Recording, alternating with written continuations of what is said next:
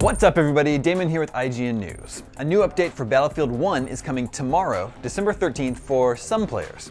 It brings with it a range of gameplay tweaks, fixes, and additions. The big addition is the new map called Giant's Shadow, which is based on the Battle of the Selle. It features a large crashed airship and takes place along the riverbanks and open ground surrounding a railway. It'll be available tomorrow for Premium Pass owners and people who pre-ordered the game, but everyone else will have to wait until December 20th. A new support class gadget called the Grenade Crossbow is exactly what it sounds like. Plus, there's a new spectator mode where you can join a match as an observer. You can switch between first and third person views, or even switch to free cam to get a view from wherever you'd like.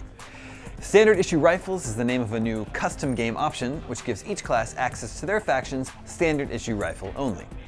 A number of tweaks, including syringe cooldown, sprinting, and spawning into a land ship have been implemented, along with some balance changes to various shotguns. For the latest on Battlefield 1, stick with us here at IGN.